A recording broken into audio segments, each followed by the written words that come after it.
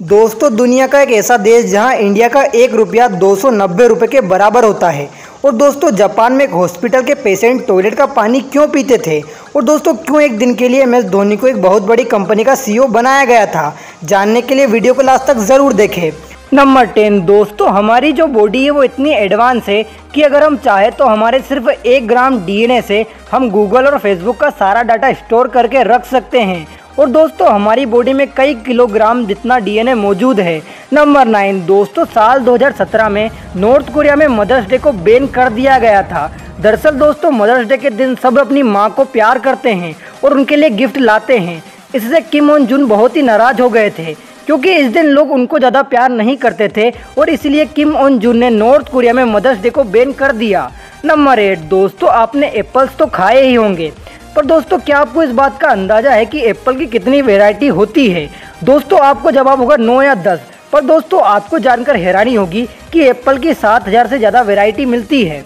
Number seven दोस्तों, ये तो आपको पता ही होगा कि हम जो शहद खाते हैं, उसको मधुमक्खियाँ बनाती है। पर दोस्तों, क्या आपको पता है हम जो शहद खाते हैं, उसको बनाने के लिए मधुमक्खियों को कितनी मेहनत करनी पड़ती है?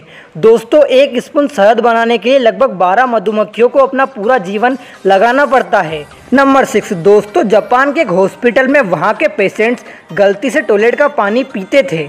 दोस्तों, एक छोटी सी पाइपलाइन की गलती की वजह से उन लोगों को 30 साल तक टॉयलेट का पानी पीना पड़ा नंबर फाइव, दोस्तों, अगर किसी नल से एक सेकंड में एक बूंद पानी गिर रहा है तो दोस्तों, एक साल में उस नल से करीब ग्यारह हज़ार लीटर पानी बर्बाद हो जाएगा।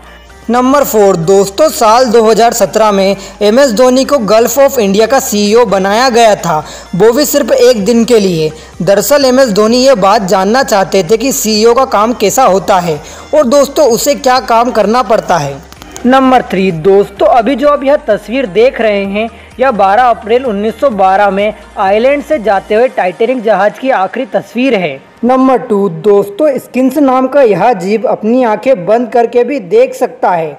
नंबर वन, दोस्तों, वियतनाम दुनिया का एक ऐसा देश है, जहाँ की करेंसी बहुत ही कमज़ोर है। दोस्तों, वियतनाम में भारत का एक रुपया करीब दो सौ के बराबर होता है।